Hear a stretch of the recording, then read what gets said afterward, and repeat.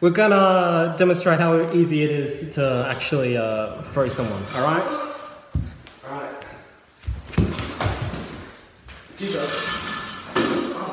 I didn't realise that you had that much weight. Oh my god, why, why do they stand at like six foot two? No one's that tall.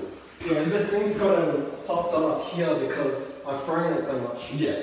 Oh yeah, I don't want to bump anything. Um, Actually, we'll try recording this outside. yeah, let's go. We're gonna force this thing so it doesn't. A demonstration of throwing someone. So this is like different types of throws. Sometimes they're gonna get in clinches like this Yeah. in UFC, and it's a bit hard, but this one's like a shoulder throw, and then judo it's called like ippon seoinage. So it goes a bit like this. This. Mad. it, it's lit. It's lit. yeah. Box. Nice. And now, I'm not gonna throw you by the way. I'm just gonna pick you up. I know. I know. He, Don't he's- worry, you'll be throwing me.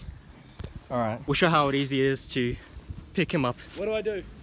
Just stand there. Yeah. So it's like this, you just in a clinch. Holy crap, he's huge. And then come in. No, no, no. and then I just let you go. ah, yeah. Ready? One. Oh no. So there's two there, there. Normally they use this, and then.